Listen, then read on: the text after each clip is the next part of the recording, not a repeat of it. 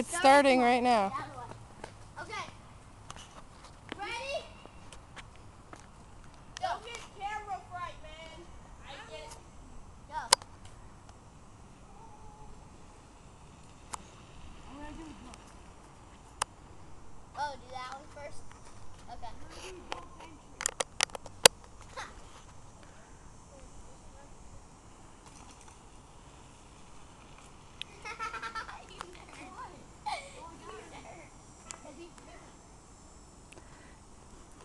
Least he's on the bike.